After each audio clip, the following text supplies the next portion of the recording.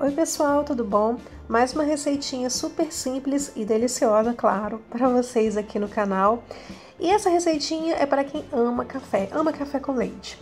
Vocês vão precisar apenas de três ingredientes, tá? E são eles: 50 gramas de café solúvel, pode ser de qualquer marca, tá? Açúcar, uma xícara, tá? De açúcar e uma xícara de água.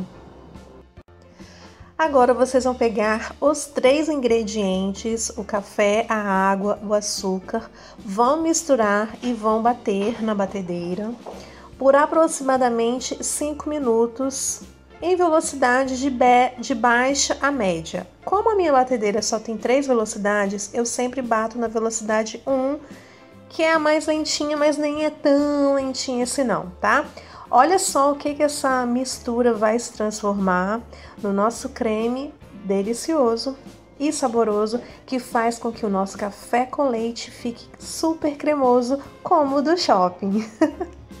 Gente, depois como armazenar isso aí? Vocês vão guardar no recipiente no congelador. Ele não congela, tá? Nosso creme não congela. Então, fica de boa lá no congelador para você usar na hora que você quiser. Você vai pegar o seu leite quentinho na sua xícara, vai misturar com uma colher de chá e vai ver como fica cremosinho, delicioso. E aquela quantidade de açúcar que eu coloquei, gente, ela não é o suficiente para adoçar. Ela só quebra um pouco o amargo do café. Então, se você tomar assim, é praticamente sem açúcar. Eu prefiro adoçar. Aí você mistura, ó, dando um zoom aí para vocês verem melhor. Vocês misturam e tá praticamente o seu café. É ótimo para servir quando tiver uma visita, no seu café da manhã, no seu café da tarde. É só ir lá no seu congelador, pegar a sua misturinha e fazer seu café com leite cremoso. Fica a dica, espero que vocês tenham gostado por favor façam e depois me contem se vocês gostaram.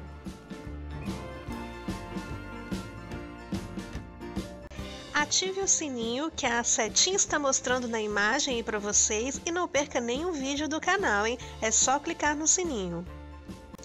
Se você gostou desse vídeo, não esqueça do meu joinha, compartilhe e, por favor, inscreva-se no canal. Ah, não esqueça de me seguir nas redes sociais. Eu sou a mais menina em todas elas.